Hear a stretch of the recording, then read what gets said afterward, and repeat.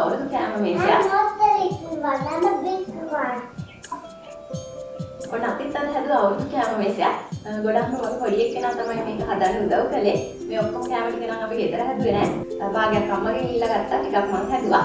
අ, කොහොම හරි අද උදේ තමයි කෑම ටික ඔක්කොම හදලා ඉවර කරගත්තේ.